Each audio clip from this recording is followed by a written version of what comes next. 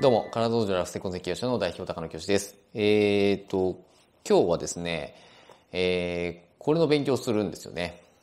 これです。じゃん。姫トレです。あの、ストレッチポールの派生製品ですね。えーいつも、あのまあ、接骨院にはあるので、あれなんですけど、勉強し直そうということで、えーオンラインセミナーをちょっと受講したいなと思ってます。えーかなり、えー面白いんですよ。骨盤底筋群をアプローチする、まあ、器具というか、まあ、ツールですね。で、あの、特に女性なんかは、あの、骨盤底筋群、硬くなったりとか、まあ、弱くなったりとか、えーその、出てきたりします。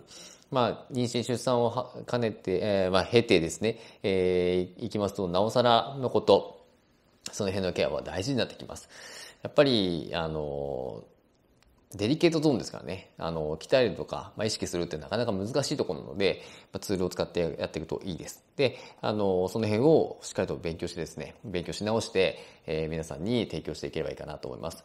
で、勉強してですね、これまたあの、女性にとかで今言ってましたけど、骨盤底筋群はスポーツをするにしても、男性にとっても、すごく大事な部位ではあるので、えーそこをきっちりと鍛えていけたらいいかなと思っておりますので、えー頑張って勉強したいなと思います。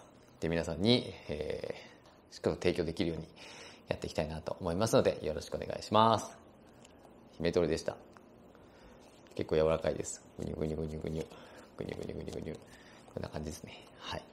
結構気持ちいいです。まあ、持ち、まあ、持って、持っていくのも楽なので、手あのーちっちゃいのでね、えー旅行カバンにも入るので、本当もう日々使ってほしいなというものでした。はい。これから勉強したいと思います。それでは、また。